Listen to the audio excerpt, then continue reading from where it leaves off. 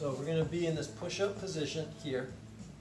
Back is flat, hands narrow, feet wide. We're gonna take away point of contact. I'm gonna bring one hand up to my shoulder and hold for 10 seconds. And then we're gonna swap, do the same thing on the other side and hold for 10 seconds. The goal when you do this is to keep the hips and the shoulders squared up to the floor. No.